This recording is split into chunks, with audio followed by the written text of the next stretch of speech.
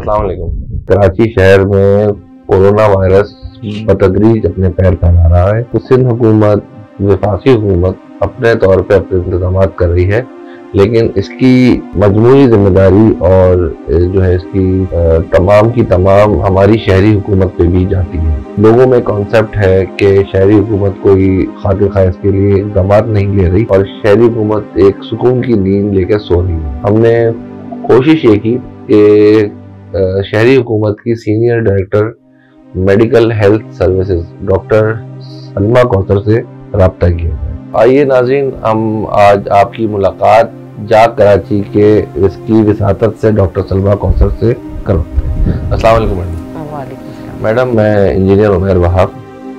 जाग कराची बुनियादी तौर पे एक सोशल प्लेटफॉर्म है जिसका काम अपने आप को गैर सियासी रखते हुए लोगों के मसाइल उन इदारों तक पहुंचाना है, जहाँ पे मसाइल हल हो। तो मैं ये समझूँगा कि आज आपके पास एक प्लेटफॉर्म है। आप खुलकर तमाम बातें बताएँ, क्योंकि आप एक इस शहर में मुमताज़ हैसियत रखती हैं और हम ये समझते हैं कि किसी की भी बहू बेटी की इज़्ज़त को नहीं उछालना चाहिए। मैं आपको इस बात की अपने तौर पे दावत भी देना चाहूँगा कि पाकिस्तान के अलावा पूरी दुनिया जो है, जब ये कोरोना वायरस के इस अजाब से, इस वबा से बाहर आ जाए तो हम और आप मिल के हमारे भी एक प्लेटफॉर्म है जाग कराची उससे और हम आपके साथ मिल के शहर को बेहतर बनाने में और मजमू तौर पर सूबे और मुल्क को बेहतर बनाने में एक अहम किरदार madam.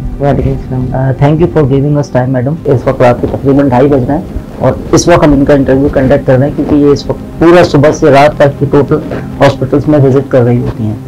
तो मैडम जरा थोड़ा सा बताइएगा कि आपके अंडर जो हॉस्पिटल आ रहे हैं फोर्टीन अराउंड तो इस वक्त क्या कंडीशन है और पेशेंट्स की क्या तादाद है?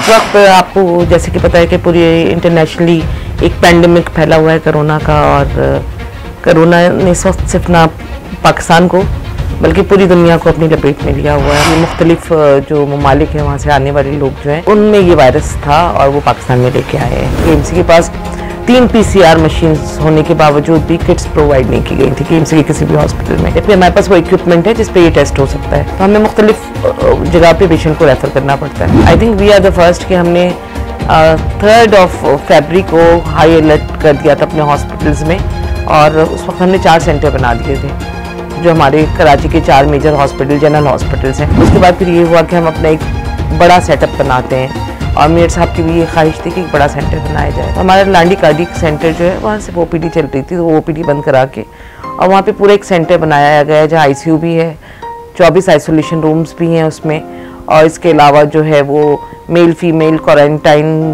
भी बनाए हैं हमने और उनके लिए हमने अलग आइसोलेशन वार्ड बनाया है। आईसीयू बनाया है वेंटिलेटर है वहाँ पे। मैडम पाकिस्तान में कोरोना की आमद के साथ ही आपने फेडरल गवर्नमेंट सिंध गवर्नमेंट और इवन के गवर्नर सिंध को भी स्पेशली आपने रिक्वेजिशन भेजी थी कि वो आपको आलात प्रोवाइड करें या सूट दें। कोई एक्शन नहीं हुआ क्या वजह बनी? है ये किया गया। तो आपने तो मेरे ख्याल में ऑन टाइम भी नहीं इन टाइम एक्शन नहीं लिया था।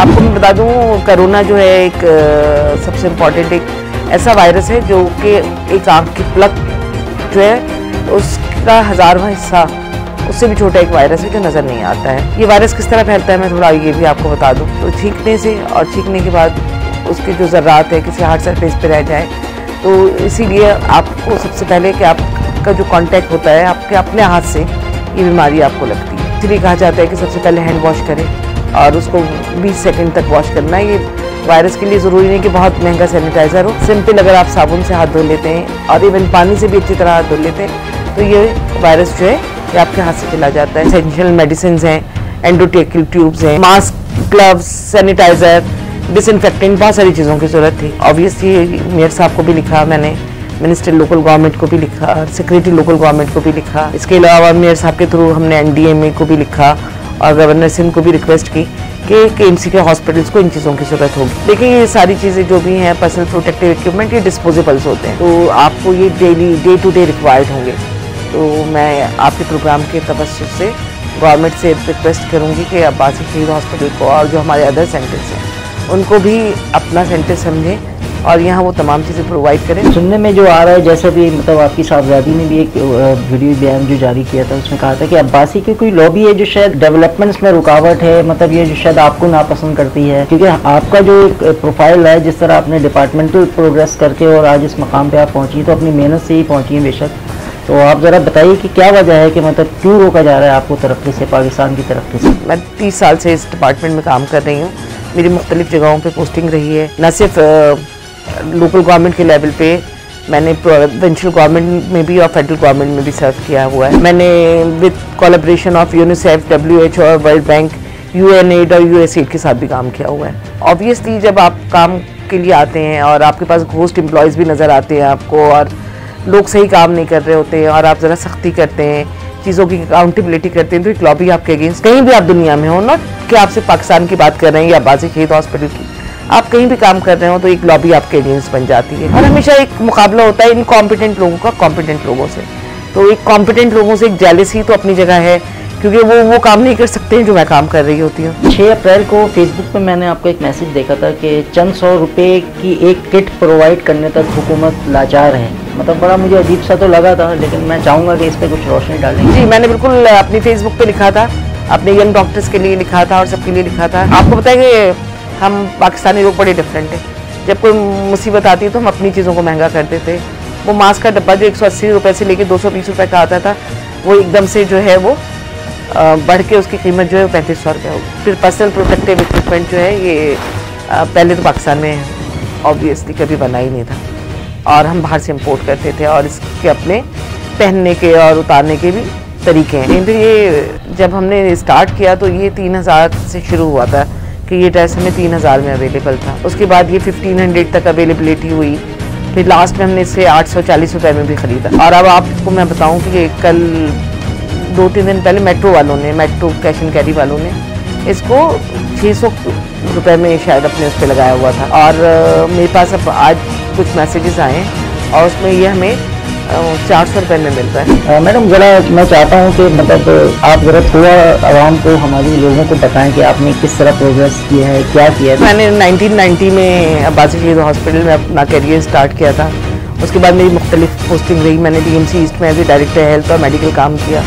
दोनों पोस्टों पर मैं एट ए टाइम रही हूँ। तीन टाउन की टाउन हेल्थ ऑफिसर रही हूँ गुलबर्ग की सदर की और जमशेद टाउन की। उसके बाद मैं H I AIDS control programme की प्रोविंशियल मैनेजर रही। उसके बाद में expanded programme for immunization and polio programme की प्रोजेक्ट डायरेक्टर रही हूँ। ये मेरा थर्ड टेन ईयर है एज ए सीनियर डायरेक्टर मैं ये तीसरी दफ़ा आई हूँ। इस दफ़ा तो मैं ऑब्वियसली जब मैंने ज्वाइन किया है तो हाई कोर्ट की इंस्ट्रक्शन पे उन्होंने मुझे नंबर वन सीनियर करार देते हुए और सबसे ज़्यादा जो के एम के डॉक्टर है, उनमें सबसे ज़्यादा किसी का एडमिनिस्ट्रेटिव एक्सपीरियंस है तो वो मेरा है। मैं एक चीज़ क्लियर करना चाहूँ कि ये डॉक्टर्स हैं और ये पूरा दिन यानी रात को बारह, एक, डेढ़ बजे घर आके सुबह फिर अपने टाइम पर ऑफ़िस जाना। मतलब एक तो आसान नहीं प्लस डॉक्टर और फिर कोरोना के पेशेंट्स के दरमियान रह के सारे हॉस्पिटल्स को लुकआफ्टर करना मतलब बहुत मुश्किल है। इसके अलावा ये एक माँ है और ये माँ होने के नाते वैसे बात इनकी औलादों को भी इनकी फ़िक्र है कि भाई, मम्मी जा रही हैं, इतने हॉस्पिटल जा रही हैं, वो भी ला सकती हैं, लेकिन ये डॉक्टर्स भी तो इस वक्त एक सिपाही का रोल अदा कर रहे हैं। एक मैसेज बनाया है सोशल मीडिया पे क्या उसको बगैर देखे बगैर जाने। आप लोगों ने फैला के एक एक शख्सियत की जो इस वक्त पाकिस्तान का फखर बना हुआ है, उसको आपने बिल्कुल डिरेल करने की कोशिश करा। तो उनकी औलाद भी बिल्कुल आएगी। देखें जब आप फ़ील्ड में काम कर रहे होते हैं और ट्वेंटी फोर सेवन कर रहे होते हैं और आप करप्शन को भी रोकते हैं और आप ड्यूटी भी पूरी लेते हैं तो ज़ाहिर लोगों को आँख में खटकते तो हैं। बहुत कॉमन सी चीज़ है कि लोग अब ये भी लिखते हैं, जी, मैं वॉशरूम जा रहा हूँ। ये भी फेसबुक का स्टेटस होता है। तो देखिए, यहाँ तक तो ठीक है कि आप अपनी लाइफ के बारे में लिख रहे होते हैं। लेकिन जब आप किसी दूसरे की लाइफ के बारे में लिख रहे होते हैं और उसको शेयर कर रहे होते हैं, बगैर सोचे समझे, और उसकी, उनकी फैमिली को कि मेरी फैमिली क्या कर रही है और कहाँ रह रही है और उससे किसी का कोई बिज़नेस नहीं है कि मैं अपनी ऑफ़िस टाइमिंग की बात क्या करती हूँ, मेरी फैमिली क्या करती है। तो और मेरे बच्चों को मेरी जॉब में घसीट के लाना। तो ये चीप अटैम्प्ट ना करें मुझ पर लिफाफे वाले जो जर्नलिस्ट होते हैं ना, उनसे जो भी चाहे आप शेयर करा दें। कहते ना कि फितरत के बस में ही नहीं, फितरत का बदलना।